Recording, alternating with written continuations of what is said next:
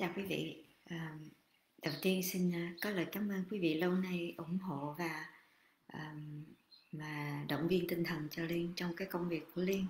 À, Liên nhận được rất nhiều những cái tin nhắn, những cái lời động viên à, rất là cảm động. cảm ơn quý vị rất nhiều. À, và tiếp theo là cũng xin thông báo là cái lớp học trí tuệ cảm xúc sẽ được trình bày à, vào ngày 10, thứ hai, thứ tư, thứ sáu, ngày 13, 15, 17 tháng 7 lúc à, 21 giờ giờ Việt Nam. Thì quý lệ vị nào muốn đăng ký thì bấm lên cái link mà Liên để ở trên đây ha. À, cái livestream này Liên xin trình bày về đề tài là tấn công vấn đề, đừng tấn công con người. Ha. À, À, xin chào à, Phương AT, hello, à, xin chào Nguyễn Văn Tị Nạn Top Fan, à, à, xin chào Nguyễn Minh Chánh, trời ơi, à, anh hùng Nguyễn Minh Chánh, chừng nào ông bị hốt đây, à, Trịnh Bá Tư, Trịnh Bá Phương, Cấn Thị Theo, à, bị hốt rồi nghe, à, nghe nói Dũng Vô Va cũng bị hốt luôn rồi, không biết chừng nào thì Nguyễn Minh Chánh bị hốt đây. à, thật sự là chị rất là lo lắng cho em á tránh nhưng mà hy vọng là à, à, em được bình an ha. À, và bây giờ thì liên xin uh, bắt đầu cái livestream uh, à, tấn công vấn đề đừng tấn công con người. Uh, quý vị thì thật ra cái chuyện mà tấn công con người thay vì tấn công vấn đề là một dạng ngụy biện rất phổ biến à, thế nào là ngụy biện? Ngụy biện là những cái cách dùng lý lẽ sai lệch để biến đúng thành sai biến sai thành đúng. À, thì những quý vị nào đã tham gia lớp trí tuệ lớp tư duy phản biện của liên rồi hay đã đã xem những livestream về ngụy biện về tư duy phản biện của liên rồi thì à, có lẽ đã biết những cái thông tin đó. À, quý vị muốn tìm những cái livestream cũ của liên á thì lên cái kênh youtube trần thị hải liên. À, trên đó liên có là nói liên đã trong quá khứ liên đã làm cái livestream về tư duy phản biện và livestream về ngụy biện. À, có rất nhiều dạng ngụy biện và trong đó cái gì một trong những cái dạng ngụy biện phổ biến nhất là cái dạng ngụy biện tấn công con người thay vì tấn công vấn đề. À, xin chào à, phúc trân xin chào khánh lê quốc xin chào nga nguyễn hằng. À, xin chào doan đặng. À, xin chào hoa hồng độc lạ. Ôi cái tên này hay đó ha à, xin chào quang trung xin chào à, thúc hạ hay thục hạ gì đó. Xin chào lợi lê xin chào mr lê xin chào à, mai đức viên đinh hữu đoan. À, xin chào ven nguyễn à, và xin chào thái phúc nguyên. Ok. Thì quý vị thấy những cái à, ví dụ thường gặp của tấn công vấn con người thay vì vấn tấn công vấn đề là um, có một lần liên thấy ở trên mạng người ta rất là xôn xao cái chuyện là có một cái ông à, cái câu chuyện kể cũng buồn cười tức là có một cái ông à, ổng à, Nguyễn Minh Thu hỏi là chị ơi bao giờ có lớp trí tuệ cảm xúc nữa vậy? Dạ sắp tới đây nè chị hai ơi. Thứ hai thứ tư thứ sáu ngày 13 15 17 tháng 7 lúc 9 giờ tối giờ Việt Nam 21 giờ giờ Việt Nam. Um, rồi trở lại cái câu chuyện là ở uh, cái câu chuyện người ta uh, rất nhiều người thích thú trên mạng là có một cái ông ổng tới ổng uh, check in ở phi trường ha. Ổng uh, làm giấy tờ check in ở phi trường. Thì uh, người ta à, hỏi ổng cái điều gì đó mà ổng không ưa phải không? Cái người nhân viên à, nhân viên hãng hàng không á người ta nói là ông cho xin giấy tờ hay là gì đó. Thì ổng mới nói là à, ổng ổng nói là cái cô này làm khó làm dễ ổng. À cái ổng mới nói là cô có biết tôi là ai không mà cô dám hạch sách tôi như vậy? Thì cái cô nhân viên đó cổ mới à, để cái loa lên cổ hỏi à, à, thưa à, quý vị có một cái ông ổng tên này và ổng à, hỏi tôi ổng là ai? Ổng hỏi tôi là tôi có biết ổng là ai không? À, tôi không biết ổng là ai à, nhưng mà tôi lo lắng cho ổng vì ổng không biết ổng là ai tới mức ổng phải hỏi tôi. Thì thì thì cái câu chuyện đó nó cũng buồn cười tức là tức là nó nói lên cái điều là cái cô nhân viên này cổ rất là à, cổ rất là à, nhanh trí phải không? Cổ chuyển từ cái chuyện một người kênh kiệu ý thế ta đây là cái người à, có quyền chức để ức hiếp nhân viên à, để biến ổng thành một cái à, một cái trò đùa một cái người bị điên bị khùng bị à, bị ngớ ngẩn tới biết tới, tới độ không biết mình là ai. Nhưng mà từ cái câu chuyện đó mình cũng thấy là à, cái việc mà người ta hỏi câu có biết tôi là ai không? À, là một cái câu rất phổ biến ở những cái nơi mà à, rất là những cái nơi mà à, chính quyền nó độc tài à, chính quyền nó không có à, pháp quyền mà chỉ có dựa ý thế quyền lực phải không? Dựa thần thế cá nhân à, dựa vào quyền lực cá nhân hay tiền bạc cá nhân để hành xử. À, cho nên họ cứ à, không cần biết mình đúng hay sai. Đó. và người ta cũng không cần biết lý lẽ đúng sai người ta chỉ cần biết là à, mạnh được yếu thua thôi. Thì anh có nhiều tiền thì anh mạnh hơn tôi thì anh có nhiều quyền thì anh mạnh hơn tôi. Và như vậy thì anh có quyền làm bất cứ điều gì. À, à, và cái đó là cái điều đáng sợ ha um, khi mà trong một cái xã hội như là xã hội Việt Nam thì cái câu mà có biết tôi là ai không? nó phổ biến tới mức kỳ lạ. À, để để nó cho người ta thấy là gì? Cái xã hội không có coi trọng à, lý lẽ mà chỉ coi trọng quyền lực thôi. À, mạnh được yếu thua. Mạnh về tiền bạc mạnh về thần thế mạnh về quan hệ à, mạnh về à, à, tài sản mà cứ hễ mạnh hơn là không cần biết lý lẽ chỉ cần dựa vô cái sức mạnh của mình dựa vô cái uy tín cá nhân của mình. À, à hay là dựa vô cái ờ, uh, nội cái cái cái cái cái lực mà mình đang có. Đó cái lực đó có thể là tiền có thể là quyền có thể là danh có thể là mối quan hệ có thể là có nhiều bạn bè hay có thể là có uh, um, băng đảng đông đảo ờ, người phải không? Um, cho nên cái cái đó nó dẫn tới cái việc là trong xã hội người ta không còn không còn à, lý lẽ nào nữa. Uh, không còn uh, uh, công bằng nữa không còn đúng sai nữa không còn đạo đức nữa mà chỉ còn có là gì? Mạnh được yếu thua. Vì vậy cho nên liên có lời kêu gọi là chúng ta xin hãy cố gắng uh, vượt lên cái sự uh, sai trái đó để mà xây dựng một cái xã hội mà nó coi trọng lẽ phải à, coi trọng công bằng à, coi trọng đạo đức phải không? À, cho nên là ừ, chúng ta hãy cố gắng tấn công vấn đề đừng tấn công con người. Tức là nói là và hãy điều đó cũng có nghĩa là gì? Hãy hãy coi trọng lý lẽ chứ đừng coi trọng cá nhân. À, vậy thì những cái ví dụ của tấn công con người thay vì tấn công vấn đề là như thế nào? Ví dụ như là à, trong xã hội thì quý vị thấy là à, à, hễ mà ở bên Việt Nam thường xuyên gặp á, hễ mà mình đi tới mình đi tới một cái công ty phải không? Mà mình à, mình mình à, mình mình à, mình than phiền là à, mình than phiền về cái sản phẩm hay dịch vụ của họ. À, thì họ không có họ họ không có à, ngay lập tức cố gắng giải quyết cái vấn đề mà mình đang gặp mà họ đi tìm cho ra cái nhân viên nào đã làm cái điều đó với mình. Quý vị thấy không?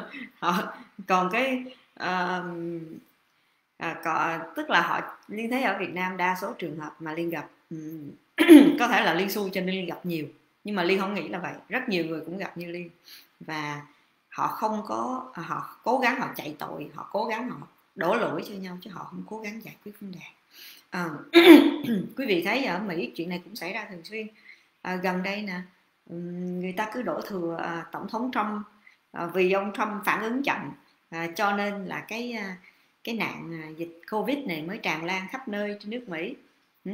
trong khi đó là trong khi đó là ngay khi mà mỹ chưa có một ca nhiễm nào thì tổng thống trump mà bên tàu bắt đầu là bùng phát dịch thì tổng thống trump đã cấm à, đóng cửa biên giới với Trung Quốc rồi không cho người tàu tới Trung Quốc nữa. Vậy mà à, người Trung Quốc tới tới tới Mỹ nữa. Mà như vậy là phản ứng rất là nhanh và rất là sớm. Thì à, nhưng mà à, nhưng mà à, bây giờ đảng dân chủ vẫn đổ thừa ông Trump phải không? Rồi bây giờ nước Mỹ đi va nước Mỹ chia rẽ. Tức là à, biểu tình bạo loạn khắp nơi. À, hôi của rồi đốt phá tài sản rồi đập phá siêu th- à, cửa tiệm rồi tùm lum. À, thì họ đổ thừa là vì Trump à, vì ông Trump à, làm việc không có tốt. Cho nên là à, nước Mỹ mới chia rẽ như vậy. À, tức là họ không có nhìn vô cái vấn đề là cái người mà đi đập phá đó à, không phải là ông Trump. Và ông Trump cái người mà đi đập phá đó um, cái cái cái băng đảng à, Antifa và cái à, cái đám à, Mỹ đen đập phá ăn trộm cướp đó không liên quan tới ông Trump. Thì nhưng mà họ cứ tấn công vào cá nhân ông Trump thôi. À, xin chào Hải Phong. À, Hải Hải Phong nói là chào chị thạc sĩ Ái Liên và các anh chị em trên và các anh chị em trên diễn đàn ghét cộng sản. Diễn đàn ghét cộng sản. Ok. Và Nguyễn Minh Chánh thì nó em đang cố gắng truyền đạt thuyết cỏ sau mưa của chị. Hy vọng là nhiều người hiểu theo. Rồi trời cảm ơn Nguyễn Minh Chánh. À Nguyễn Minh Chánh ơi có chị có lời mời là em à, tham gia cái nhóm Trần Thị Ái Liên trên Telegram của chị á.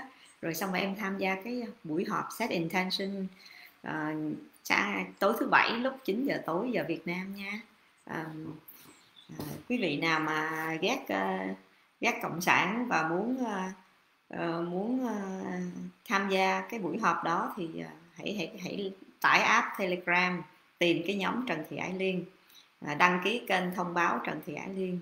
Thì Liên sẽ để cái link Zoom để mà họp uh, cái buổi họp uh, Set Intention 2030 uh, tối thứ bảy lúc 21 giờ. Trong cái buổi họp đó thì mình sẽ nói về vấn đề Việt Nam vấn đề chính trị xã hội Việt Nam um, ok thì trở lại với cái câu chuyện là hãy tấn công vấn đề đừng tấn công con người. À, hãy à, dựa vào lý lẽ chứ đừng dựa vào quyền hành thế lực của cá nhân. À, vậy thì mình sẽ áp dụng cái chuyện đó như thế nào? À, quý vị thấy là à, rõ ví dụ trong chuyện dạy con ha thế nào là tấn công con người mà lại không tấn công vấn đề? Đó là cứ hệ mà liên thấy thường xuyên đó, là cứ hệ mà anh chị em ví dụ cha mẹ đang ngồi làm việc gì đó và nghe tiếng con cái nó khóc hét lên đó. thì cha mẹ ngay lập tức chạy đến hỏi đứa nào đánh? Đứa nào đánh? Không thay thay vì hỏi là à, điều gì đã xảy ra? Điều gì đã dẫn tới cái cái cái tiếng khóc khóc đó? Mà họ ngay lập tức họ hỏi đứa nào đánh? Đứa nào? Phải không? Hay là họ họ phải tìm cho ra cái người làm thay vì họ tìm cho ra cái lý do tạo ra cái vấn đề đó cho nên để áp dụng cái ý tưởng là hãy tấn công vấn đề đừng tấn công con người á thì là khi mà quý vị nghe con khóc thì là quý vị phải tìm hiểu cái lý do tại sao nó khóc.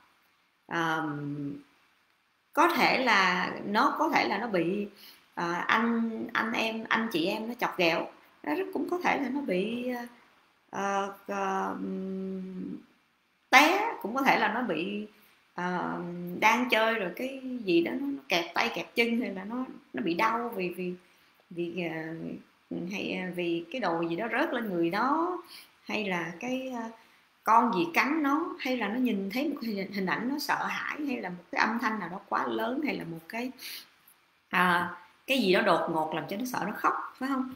Thì cái vấn đề nó nằm ở chỗ là chúng ta thường hay tập trung vào cái việc người nào đã làm cho con khóc thay vì điều gì đã làm cho con khóc quý vị hãy cố gắng cố gắng thoát ra khỏi cái thói quen tìm cái người để mà đổ lỗi tìm cái người để chịu trách nhiệm. Mà hãy tập trung với cái thói quen là à, à, là tìm cái lý do cái vấn đề tạo ra cái điều đó phải không? À, à, và nếu mà quý vị làm được điều đó thì nó đỡ xảy ra xung đột trong gia đình ví dụ như là liên với ông bồ của liên ha um, hồi xưa liên um, mỗi lần mà liên giận ổng là ổng phản ứng khủng khiếp lắm. Ổng ổng ổng ổng tìm mọi cách để ổng chạy tội. Mà hồi đó liên cũng không biết làm sao. Mỗi lần ổng ổng ổng phản ứng dữ quá thì là liên cũng bực mình cái chuyện phản ứng của ổng. Thời xưa liên cũng không có trí tuệ cảm xúc tốt phải không? Um, như bây giờ. Cho nên là lúc đó ổng phản ứng dữ dội rồi ổng ổng à, la lối cự nữ rồi liên cũng bực mình lên rồi liên cũng giận dữ lên rồi liên cũng người ta liên cũng trở thành giận mất khôn rồi liên rồi cuối cùng hai đứa gây nhau thường chửi nhau cãi nhau. Nhưng mà bây giờ ờ, ví dụ như lần vừa rồi à, à, có một lần liên gọi điện thoại cho ổng. À, liên à, liên gọi hoài gọi hoài liên không thấy ổng nhấc máy. Liên bực mình quá tức mình quá. Cho nên là à, mấy ngày sau liên không thèm gọi điện thoại cho ổng nữa rồi ổng gọi điện thoại cho liên cũng không thèm nhấc máy luôn. Cái à, cái xong rồi cái um, thì đương nhiên là lý do mà liên không trả lời điện thoại ổng là tại vì à, liên sợ là liên đang còn giận mà liên trả lời điện thoại thì thì là thái độ của liên nó giận dữ thì nó dẫn tới xung đột thêm. À, giọng nói của liên nó không có êm ái thì nó dẫn tới gây gỗ thêm cho nên là liên không có trả lời điện thoại. Mà liên cũng không có gọi điện thoại lại. Nhưng mà tới khi mà liên thấy liên bình tĩnh rồi liên ổn rồi. Liên mới gọi lại chồng. Thì ngay lập tức là ông nói à, cái lúc mà liên gọi đó là tôi đang thế này thế kia tôi đang bận tôi đâu, đâu có phải là liên tôi cố ý tôi, tôi, tôi gì đó. Ở tức là ngay lập tức ông biện minh. Tại vì ổng tưởng liên vẫn là liên trong quá khứ. Tức là người chuyên môn là, là giận dữ ờ, la lối ông chồng. À, thì liên mới nói là à, à, bình tĩnh tôi đâu có trách gì đâu mà nói dữ vậy. Cái ổng nói à, nếu mà liên không giận thì tại sao liên không trả lời điện thoại của tôi? Liên làm lơ tôi à, liên giận tôi vậy. Thì liên liên nói không phải. Liên có giận ổng nói liên có giận đúng không? Liên nói đúng rồi liên có giận. Liên có giận thật. Cũng nói vậy à, chị tại sao hồi nãy lại nói là à, không à, là là là, là à, tôi đâu là liên nói này nói kia. Nói không liên có giận thật. Ừ. nhưng mà ông phải hiểu là người ta khi mà muốn cái gì mà không được á, thì người hay giận.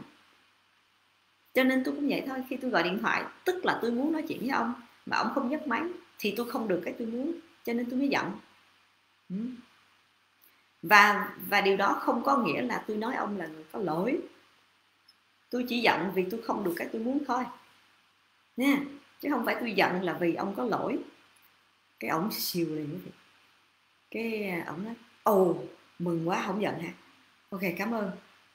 Nhưng mà tại sao liên không tôi gọi lại liên không nhấc máy à, liên nói liên không giận mà liên không nhấc máy là sao à, à cái, cái liên nói không phải liên không nhấc máy là tại vì tôi có giận cho nên tôi không nhấc máy ông nói vậy sao? Sao nãy nói không giận tôi nói tôi có giận? Nhưng mà cái chuyện tôi giận và cái chuyện ông có lỗi là hai chuyện nó không có liên quan ngay cả ông không có lỗi tôi vẫn cứ giận. Tại vì tôi không có giận vì ông có lỗi mà tôi giận là vì tôi không được cái tôi muốn. Có hiểu không? Cái ông đi nói tới nó lùi thôi ông mới hiểu. À, quý vị thấy cái người mà họ sống trong cái xã hội mà người ta à, thường xuyên um, coi trọng lỗi lầm của nhau họ sợ hãi tới như vậy. Một hồi liền mới nói là nên phải nhắc đi nhắc lại là ông không có lỗi trong chuyện này tôi biết là khi mà ông không nhấc máy khi tôi gọi á thì có rất nhiều lý do. Ờ, lý do rất có thể là ông đang tắm rất có thể là điện thoại nó không reng rất có thể là kỹ thuật nó có vấn đề. À, rất có thể là lúc đó là à, internet nó bị lag cho nên nó không có tới. Rất có thể là ông đang bận rất có thể ông đang đi ị rất có thể ông đang đi tè rất có thể là ông đang mua đồ rất có thể là ông à, ngay cái lúc điện thoại rang thì lại có một cái âm thanh gì đó lớn nó nó, nó, nó, nó lớn á, tôi tôi biết. Và trong đó cũng có một cái lý do là ông có thể là ông ông cố ý làm lơ cái điện thoại của tôi. Đương nhiên nhưng mà tôi không có cơ sở để xác định vì sao ông không trả lời cho nên tôi đâu có đâu có buộc tội ông đâu tôi đâu có nói ông có lỗi đâu. Nhưng mà ngay cả tôi biết rằng ông có lý do chính đáng tôi cũng sẽ giận tại vì tôi không được cái tôi muốn. Và hai cái điều đó cái chuyện mà tôi giận vì tôi không được cái tôi muốn. Nó không có liên quan tới chuyện ông có lỗi. À, ờ, ngay cả ông không có lỗi tôi vẫn có thể giận như thường. Tại vì tôi không được cái tôi muốn thì tôi giận. Chỉ có vậy thôi. Nha. Mà tôi giận thì tôi cần thời gian để bình ổn lại. Ừ, tôi người chứ phải thánh đâu. Hả? Mà nói hết giận là hết thì sao? Đâu có chuyện đó. Phải phải có thời gian mới từ từ mới hết giận được. Ừ, ừ và quý vị nào đã tham gia lớp trí tuệ cảm xúc của liên rồi á thì thì thì đã nghe ly nói rất nhiều lần rồi. Ừ. À, con người ta có quyền giận rất nên giận và phải phải sống hợp với cảm xúc của mình. Vì nếu con người á à, mà không có cảm xúc thì không thể sống còn chứ đừng nói không thể thành công. À, tại sao? Ai muốn biết tại sao? Tham gia lớp trí tuệ cảm xúc ngày 13 17 13 15 17 tháng 7 lúc 21 giờ giờ Việt Nam ha. Chúng ta sẽ học với nhau trên Zoom cho nên quý vị ở bất cứ nơi nào trên thế giới đều có thể tham gia được. Ừ. À, và Liên sẽ không gửi video cho ai đâu nha. À, tại vì cái lớp trí tuệ cảm xúc trong đó có những cái thông tin nó rất ngược với những gì mà người ta đã hiểu lầm lâu nay cho nên rất khó chấp nhận. Vì vậy cho nên quý vị phát tán video là quý vị đang làm hại xã hội á. Ừ. Và mặc dù liên nói rất nhiều lần vẫn có người thâu lại à, đó là những người rất tồi tệ và rất giận những cái người đó. Nhưng mà cũng chẳng làm gì được họ. Thậm chí là gần đây liên mới biết là một trong những cái người họ gọi là fan cuồng của liên họ gọi là họ là đồng chí của liên họ đã từng thâu lớp học của liên mặc dù liên đã nói tới nói lui là đừng có thâu họ vẫn cứ thâu. Chịu thua ha. À, thì thì trở lại với câu chuyện à, liên với ông bò liên là liên à, à, liên nói ông là liên rất là giận và liên cần thời gian để bình tĩnh lại. Và vì vậy cho nên lúc mà ông gọi liên là liên đang chưa bình tĩnh thì liên không có trả lời được. Ừ? tại vì liên trả lời thì khi mà người ta đang giận thì người ta chỉ muốn gây lộn người ta chỉ muốn chửi rủa người ta chỉ muốn đánh đập thôi chứ người ta đâu có muốn nói lời nhạt ngọt ngào đúng không? Chỉ có những người thánh nhân hay là những người à, họ có trí tuệ cảm xúc tốt hoặc là những người à, họ được à, rèn luyện giỏi thì họ mới có thể bình thản khi họ đang giận được thôi. Còn người là bình thường như liên thì là đang giận khó mà nói lời ngọt ngào lắm. Nó cũng đôi đôi khi cũng được. Tạo luyện tập riết nó cũng được. Nhưng mà uh, tùy trường hợp có khi được khi đôi khi không được khi không. Ừ.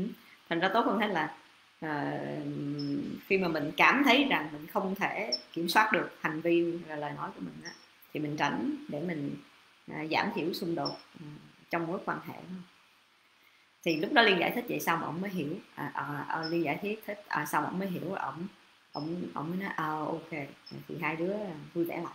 Cho nên quý vị thấy là trong cái mối quan hệ à, vợ chồng mối quan hệ người yêu mối quan hệ bạn bè mối quan hệ đồng nghiệp à, mối quan hệ đối tác mối quan hệ gia đình mà nếu như mà mình biết tấn công vấn đề chứ đừng tấn công con người ý nói lại gì? Là hãy tìm cái nguyên nhân nó dẫn tới cái sự việc chứ đừng có tìm cách đổ lỗi lẫn nhau ha? Đừng có tìm đừng có cố gắng à, tìm cái người làm cái việc đó mà hãy cố gắng tìm cái sự việc dẫn đến cái cái cái cái hành động đó.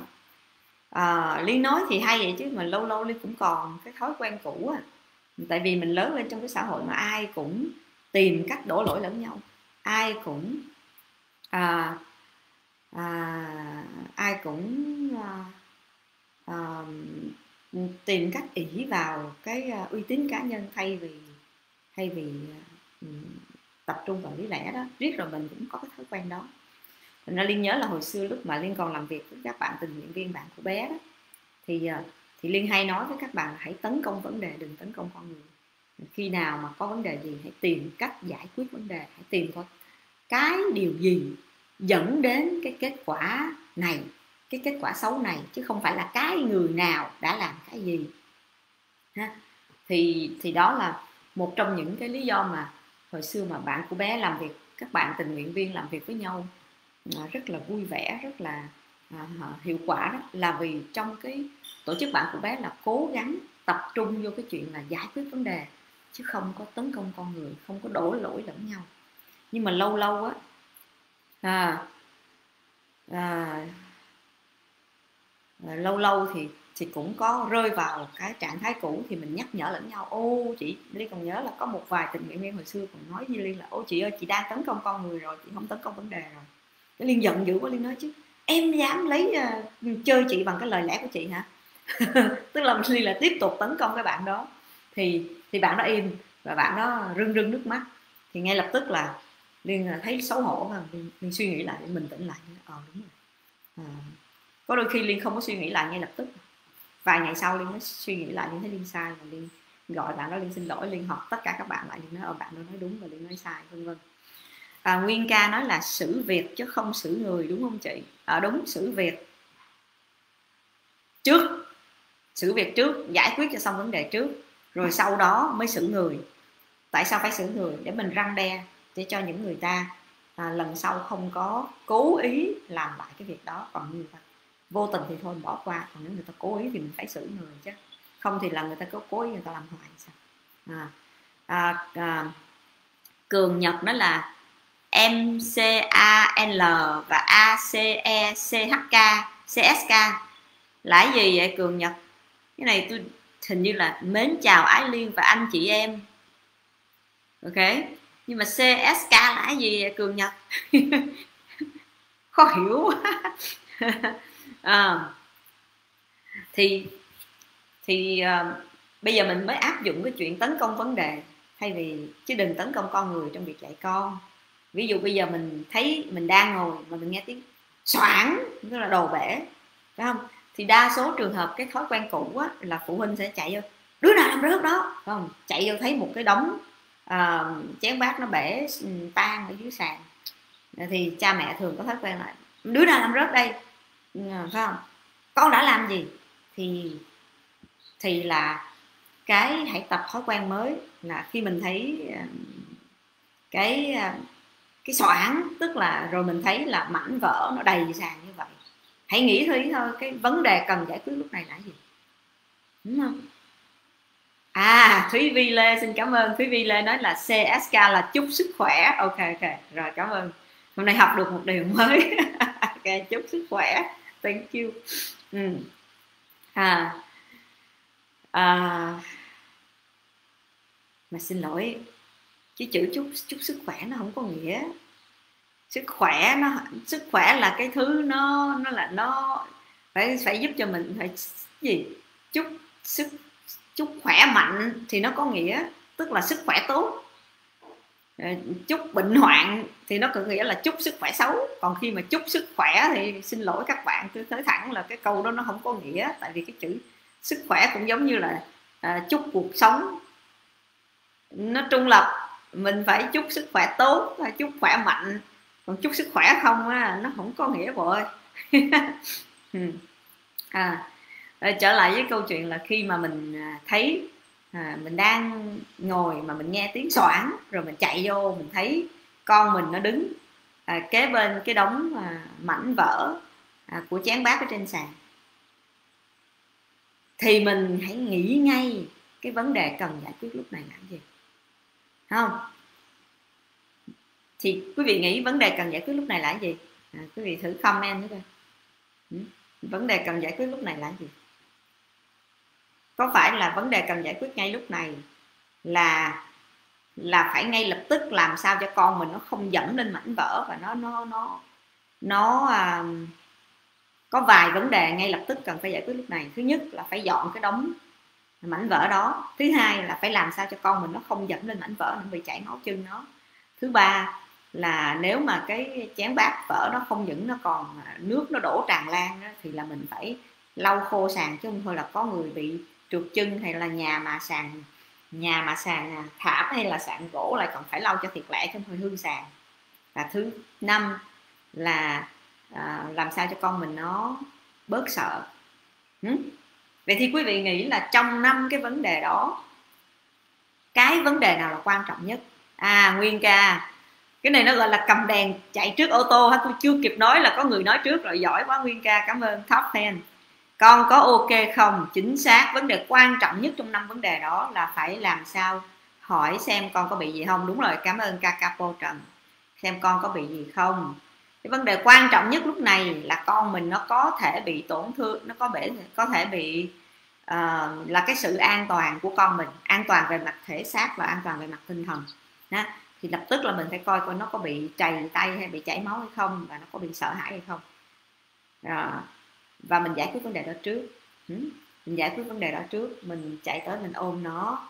Mình vỗ về nó sợ không con? Đưa, đưa mẹ coi con có có trầy tay có chảy máu có đau chỗ nào không con? Mình vỗ về nó cho rồi cho nó ổn rồi mình rồi mình bưng nó qua một cái mình bưng nó ngồi lên giường hay lên ghế rồi hoặc là vô trong phòng. Rồi lúc đó mình mới đi ra mình à, dọn cái đống đổ nát đó. Mình dọn cái đống đổ nát đó xong rồi mình chạy vô mình lại vỗ về con mình tiếp cho tới khi nó bình ổn. Rồi lúc đó mình mới hỏi à, mình mới hỏi cái lý do tại sao à, chén bát bể. Rồi con nó nói là à, có thể đứa nhỏ nó nói là à, dạ con không biết. Con đang đứng tự nhiên con thấy nó rớt bể. À có trường hợp đó chứ không phải không đâu quý vị. Hoặc là nó nói là à, con quăng thử coi cái chén đó con quăng thứ coi chuyện gì xảy ra mà con không ngờ là nó bể. Hoặc là có đứa nó ngồi nó khóc thôi chứ nó không nói gì hết. Đúng không? Hoặc là có đứa nó sẽ nói là à, con té cho nên là con chụp cái bàn rồi nó trúng cái chén nó bể. Nó có rất nhiều lý do. Thì vậy thì khi mà tùy ở cái câu trả lời của đứa trẻ mà quý vị sẽ quyết định là cái vấn đề tiếp theo là cái gì. Và cái bài học giúp cho con mình rút kinh nghiệm cho lần sau là cái gì à, à, vậy thì à, quý vị thấy là cái cách mà mình tấn công vấn đề thay vì tấn công con người nó rất khác. Là là lúc nào mà mình thấy có vấn đề gì có có cái gì xấu xa mình phải nghĩ ngay ngay lúc này cái việc cần làm nhất là cái gì? Chứ còn chứ còn rất nhiều à, phụ huynh là khi mà nghe cái xoảng là chạy vô chạy vô chạy vô à, thật ra chưa chạy đã hét rồi ê chuyện gì nó đây, tao không bao giờ ngồi yên được với mày. Ví dụ vậy, chưa chạy mà đã hét. Rồi có những phụ huynh đỡ tệ hơn là chạy vô để coi chuyện gì và thấy đứa con nó đứng đó thì lại hét. Lại làm bể nó rồi. Không? hay là có những phụ huynh là thấy con đứng khóc. Đi ra chỗ khác cho mẹ dọn bà dọn ngay khóc cái gì mà khóc. Tức là quý vị thường là chỉ chỉ ngay lập tức nghĩ ngay là cái đứa trẻ là cái đứa có lỗi. Tức là quý vị, và quý vị la lối cái đứa trẻ. Tức là quý vị đang tấn công, tấn con người quý vị không có tấn công vấn đề. Um, hoặc là có những quý vị tấn công vấn đề bằng cách là vừa chạy vô cái là hỏi chuyện gì xảy ra vậy con? Tức là cũng có tấn công vấn đề đó. Nhưng mà tấn công sai vấn đề là vì quý vị không biết ưu tiên vấn đề nào là quan trọng nhất để giải quyết trước. Phải không? Quý vị thật ra cái lúc đó tìm lý do tại sao cái chén bể nó đâu có quan trọng bằng làm sao cho con mình được an toàn quý vị đồng ý không?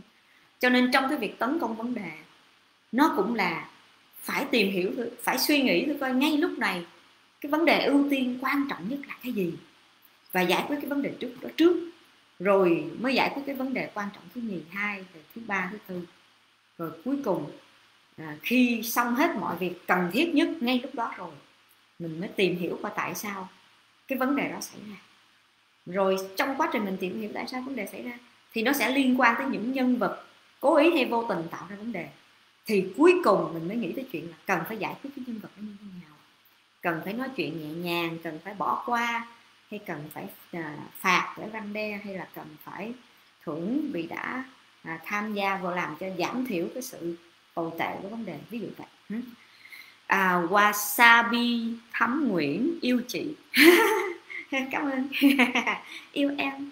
Mình thích được người ta yêu lắm ok thì cái à, livestream của liên cũng đã 32 phút rồi. À, hồi xưa liên hay làm livestream một tiếng đồng hồ đó nhưng mà liên thấy nó dài quá cho nên nhiều người không có thời gian để mà nghe cho nên bây giờ liên sẽ cố gắng làm livestream nửa tiếng thôi.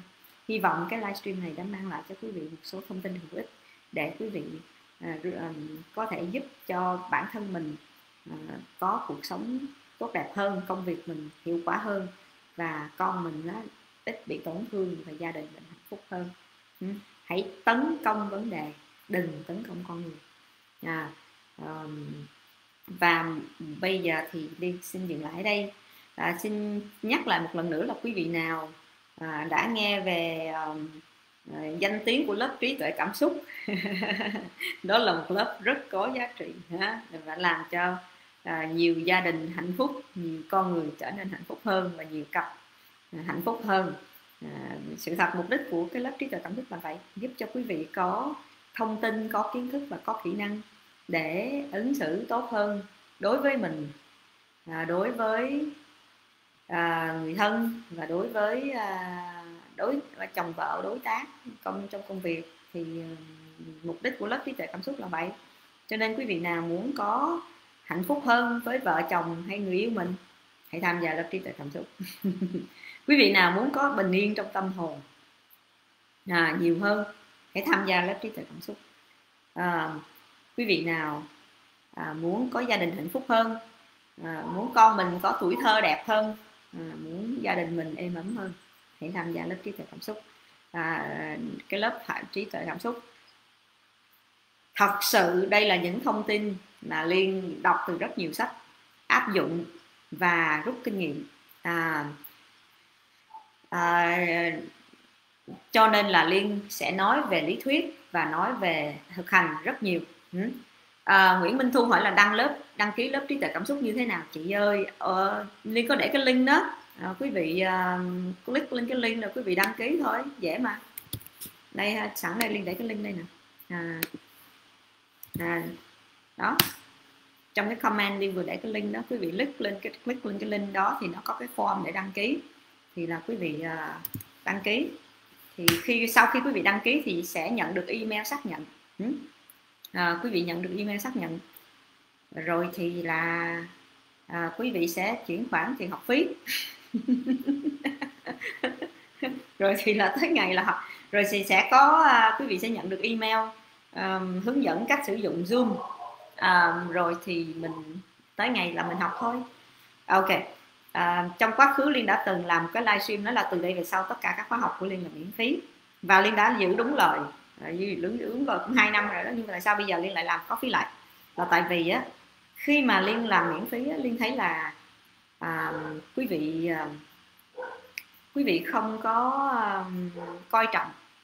Miễn phí mà đâu có gì đã mất đâu. Cho nên à, vừa học vừa cà rỡn. À, có người đi trễ tới nửa tiếng đồng hồ có người đi trễ một tiếng đồng hồ thậm chí là có người đa số đi trễ trên nửa tiếng đồng hồ. Và có ít nhất 20% đi trễ một tiếng đồng hồ. Trong khi khóa học một lớp học chỉ có hai tiếng đồng hồ. Và có tới 15% đi trễ tới một tiếng rưỡi. Trong khi đó lớp học nó chỉ kéo dài có 2 tiếng. Và có rất nhiều người học buổi này bỏ buổi kia. Cho nên là um, người ta hay nói là cái gì miễn phí thì là tự nhiên nó mất đi giá trị của nó trong tâm thức người ta là cái câu đó đúng vô cùng mà liên đã cố gắng à, à, phục vụ quý vị miễn phí vì nhiều người tham tham phiền là, là chị ơi em không có tiền tham gia hay gì đó. Mà sự thật là vậy quý vị. Cái gì mà người ta cố gắng khó khăn lắm người ta mới đạt được người ta mới biết quý. Còn cái gì mà dễ dàng người ta coi thường lắm. Cho nên là bây giờ liên uh, quyết định là liên sẽ lấy học phí lại. Mà đương nhiên là liên sẽ lấy một cái phí rất là nhẹ nhàng để cho nhiều người có thể tham gia được nhưng mà liên không có làm miễn phí nữa. Tại vì à, cái chuyện làm miễn phí đó nó không những làm cho liên bị tổn thất về mặt à, tài chính. Liên mất một số tiền rất lớn. Nhưng mà nếu mà liên mất cái số tiền đó mà nó đem lại ích lợi cho người ta đó thì liên cũng sẵn sàng. Nhưng vấn đề chính là nó không có đem lại ích lợi cho quý vị. Nó làm cho cho cho quý vị học học học không có ra gì hết trơn là tốn thời gian công sức của cả đôi bên mà không có ích lợi gì hết. Cho nên là bây giờ liên quyết định là liên sẽ lấy phí lại. Ừ. Và liên sẽ trích một phần trong cái tiền à, học phí của quý vị để làm từ thiện. À, liên trích ra 10% trong cái tiền học phí của quý vị à, cho chương trình um, từ thiện. À, vì vậy cho nên là à, quý vị hãy à, có cần thêm thông tin gì thì quý vị cứ gọi hotline. À, 0906667734 ừ. à, và quý vị à, đăng ký ở trên cái form này thì quý vị sẽ nhận được email xác nhận ngay lập tức.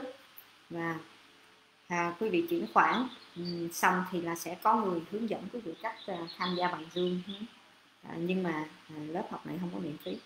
Và ai gặp khó khăn về vấn đề tài chính mà không có khả năng à, đóng học phí mà rất muốn tham gia đó thì à, thì liên lạc với liên qua telegram hả? Liên lạc trực tiếp với liên qua telegram.